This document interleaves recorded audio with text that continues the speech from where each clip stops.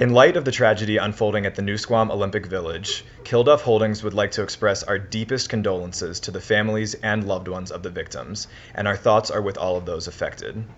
We are working with Interpol and first responders as they implement heightened security measures in the area and ensure the safe evacuation of village residents. We will continue to cooperate unconditionally with local and government authorities in pursuit of answers. Our focus now turns to examining the internal events that culminated in this tragedy. We have launched a full investigation into our internal processes, and we will take swift actions proportionate to the gravity of those findings. For over 200 years, Kilduff Holdings has adhered to the highest standards of quality and integrity. We are committed to identifying any procedural shortcomings to ensure that these standards will be upheld moving forward.